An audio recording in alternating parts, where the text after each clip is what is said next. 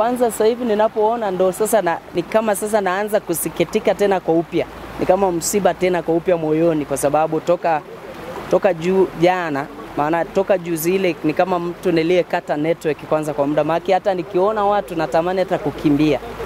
Na hata nilipookolewa pale nilijikuta nimekimbia kwanza pekupeku, baadaye nikakutana na mwenyeji wangu wa kule nyumbani kwangu nilikotokea, akanipeleka mpaka nyumbani. Wakati tunaamka asubuhi, sasa ndo tunataka tutoke nje ya ile nyumba, nje ya ile guest ambayo tulikuwa tumelala. Uh, wakati tunatoka tu, ghafla nikasikia makelele ya watu. Niliposema nikaangalia yale makelele ni ya nini, nilikutana na maji mlangoni na Nikashangaa wakati nafungua mlango, ghafla maji ikagonga ikanisukuma, nikajikuta tu nimelala kule. Nikaamka pale pale sasa, kwa sababu nilishaona maji. Nikachukua jaketi langu na simu na system charger ya simu yangu na viatu, nikatoka nje.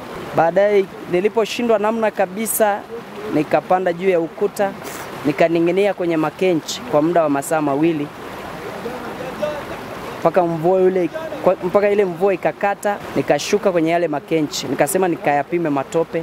Ndipo nilipoenda nikatembea katika yale matope, nimekwama kwenye yale matope kwa muda wa saa nzima, yaani ilikuwa hali sio hali, na namshukuru Mungu, baada ya yale matope kwa muda mrefu, ikabidi nirudi ndani tena nikaendelea kuogelea katika yale matope nikapanda tena juu ya kench nikakaa hapo kwa muda wa saa nzima tena. Baada ya kukaa hapa saa nzima nika, wakati huo wakati nakaa harakati za kuokolewa zikawa zinaendelea, lakini mimi hawakuniona na nilishindwa kuokolewa kwa muda ule. Nikakaa kama masaa matatu ndani. Baadaye matope yakaanza kupungua. Matope yalipopungua ndipo saa nika, nikaanza kutafuta njia ni wapi. Nikatafuta kuna geti moja ndogo ya nyuma, nikaanza kubomoa ile geti, nikatoka na ndipo pale nilipopata bahati ya kuokolewa.